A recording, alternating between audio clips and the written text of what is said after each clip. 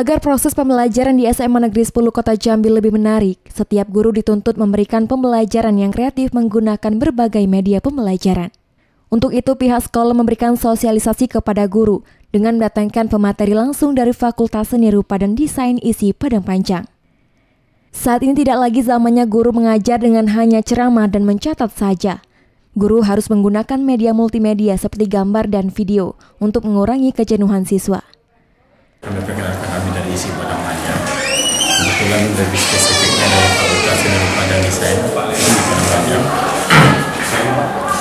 Uh, karena kebetulan di Seni Rupa itu kami mempunyai beberapa prodi yang berhubungan dengan media dan multimedia.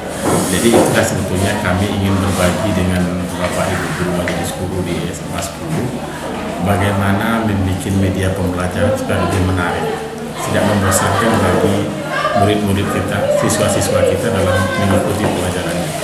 Apalagi tadi Pak Kepala Sekolah juga bilang ada di jam-jam rawan, di jam-jam siang mungkin yang jam-jam mengantuk, apabila materi kita atau materi guru-guru itu tidak menarik, ini memang sudah membosankan sekali bagi peserta didik, ya akhirnya akan tertidur.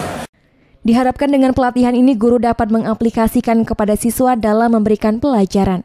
Hal ini guna memacu siswa lebih aktif hingga mampu memahami setiap pelajaran.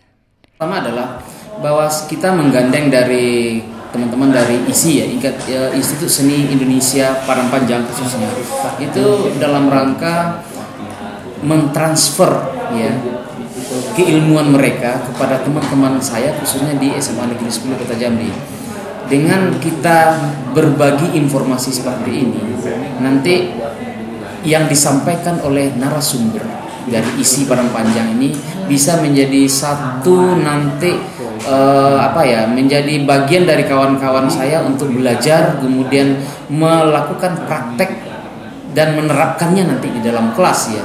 Ica AF, Jack TV melaporkan.